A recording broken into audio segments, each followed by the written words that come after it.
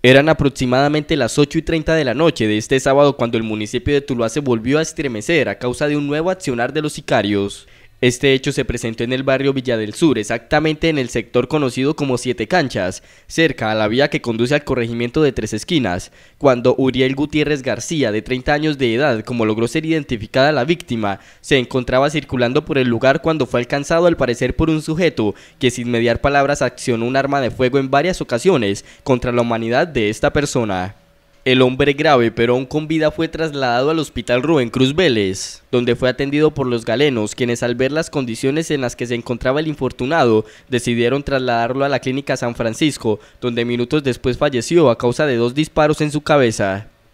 De Gutiérrez García se ha podido establecer que residía en el barrio Farfán y era ebanista de profesión.